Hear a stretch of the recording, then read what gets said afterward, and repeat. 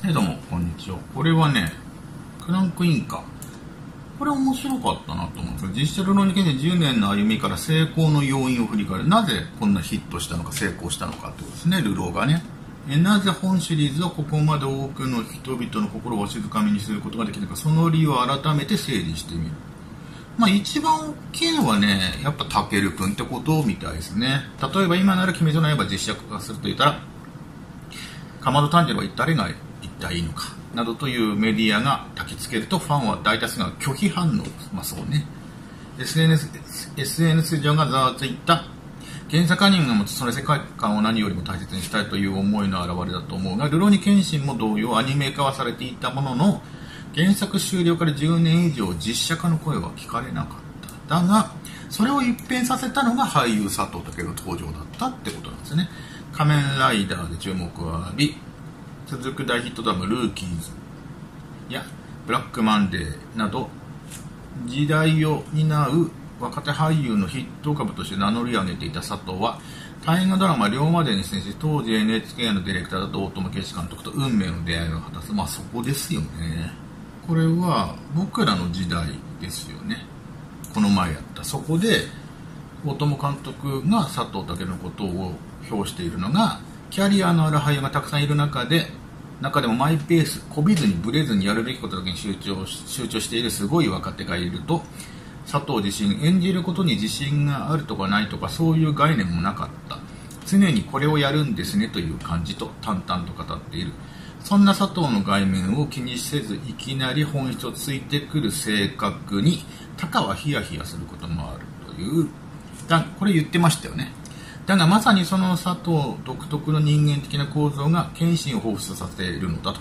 物静かでおっとり物静かでおっとりとしていてどこか悲しげ。けれどいざ敵に立ち向かう時は狂気にも感じさせられる激しさが顔を出す。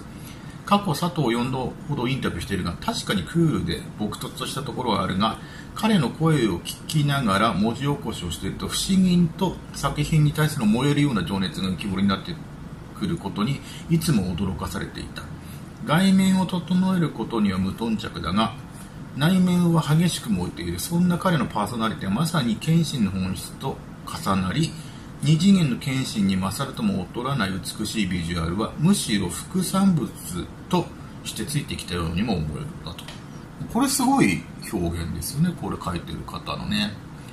要は佐藤健君っていうのは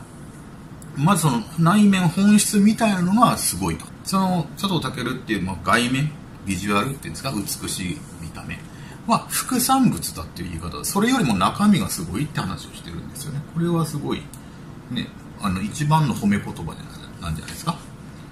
それに加えて野球や勝利に憲法黒帯なんですね武君ってね。ブレイクダンスのスポーツも経験豊富で、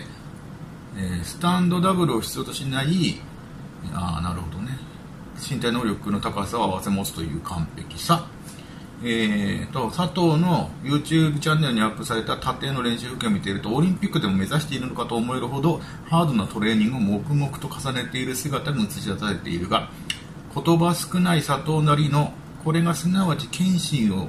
背負う覚悟の表れなのだと納得させられると。そして佐藤健という稀有な俳優を手に入れて制作者でも成功への期待ががぜ高まった。でも彼を生かせも殺すも監督次第。武君をね生かすもこれも監督した大河ドラマの実績食われて抜擢された大友監督がドニー・イエンの下で多くの作品に携わってきた谷垣健二アクション監督コラボが実現したこともルーローニケンシンの大きな要因だっていう。佐藤健のオフィシャルインタビューで最初は漫画もアニメも見ていた自分が剣心を演じるなんて怪しさしかなかったと言っているが当時ファンの期待に応えようと再現性ばかりにこだわっていた佐藤が感情の赴くままに演じているうちに彼の中の心に謙信が宿り完全に住み着いてしまったのだと。まあだから佐藤健君自体がもう謙信になっちゃったってことなんですよね。でそれを映画をご覧になった方なら疑いの余地はないだろう。まあそうですね。僕はもう完全に謙信イコール佐藤健としか思えないですよね。で一方この映画のもう一つの売り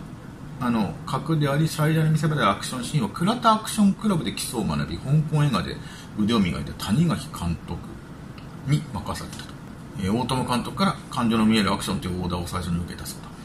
これねちょっと今僕初めて今読んで知ったんですけど倉田アクションクラブで基礎を学んだんですね。倉田アクションクラブってあれですね倉田康明さんのこと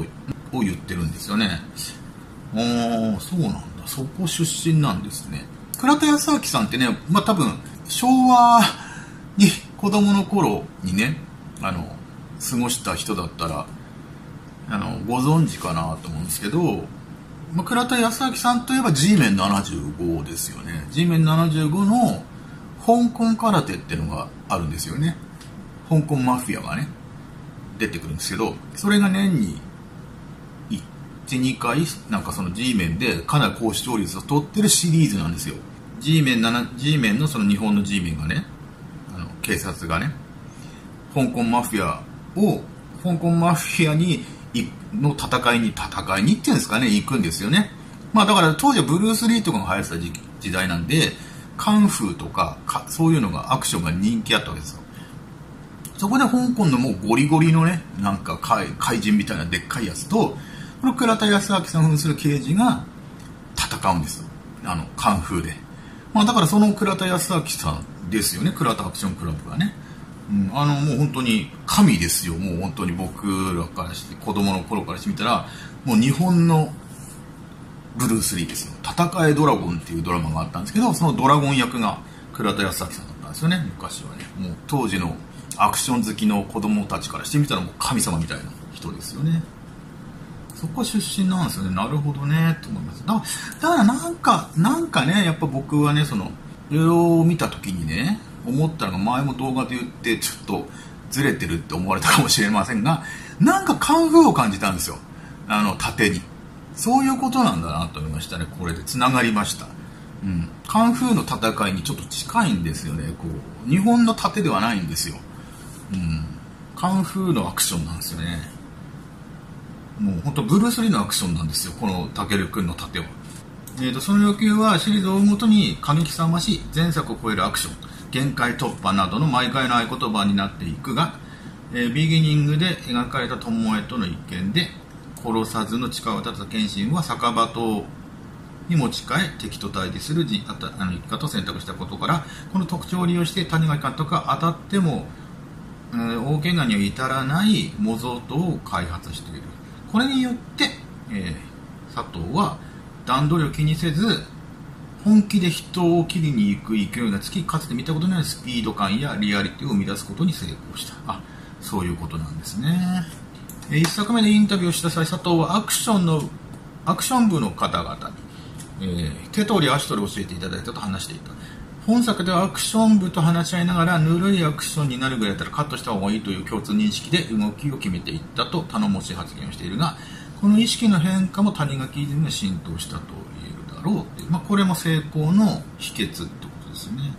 でまあ一番最後に大きいのは忘れてはならないワンオクロックのナンバーだ彼らでなければ献身の世界観を描けないという時計を戻せば学生時代まだ発展途上にあったワンオクロックの音楽をたまたま友人のイヤホンで聞いた佐藤はタカの声に一撃された。以来ライブへ足しげく通うようになりやがて同じ事務所同じ学年であることを知り徐々に友人関係を深めていく。そんな時に届いた献身役のオファー佐藤は自分が主役をやるならワンオークロックの音楽を使ってほしいと後押ししたそうだがそれは単なる友情だけではなく彼らの音楽が浪に献身シリーズに一番ふさわしいと本能的に嗅ぎ分けていたからではないだろうかと。オフィシャルインタビューでタカは時代を変えるために前に突き進みそのために剣を振るって相手を倒していく圧倒的に孤独であって優しさも寂しさも持ち合わせている謙信の人間性にフォーカスして僕たちのバンドの方向性をリンクさせながら曲を作ってきたと語っているがシリーズをもとに壮大になっていた彼らの音楽はタカが一番好きだという最新作「ザ・ビギニングのピアノソロから始まる哀愁に満ちたエモーショナルな楽曲へと行き着いているところも興味深いえー、タグエマレーな原作のもとに集結した佐藤健大友監督谷川アクション監督そしてワンオクロックの壮大な音楽に個性あふれる共演陣の頑張りも相まって浪人剣心シリーズはとてつもない奇跡を起こした。そういうのが、ええー、とルローの成功の秘訣ったということです。まあでもどれが欠けてもダメだったでしょうね。やっぱり全てこの一つ。でも欠けたらやっぱりまた違う形になってたろうし。ね本当やっぱり一番はたけるくんありきなんだろうなと思いますね。たけるくんでなければあの謙信はやれないと思います。まあそんな感じですかね。ではでは。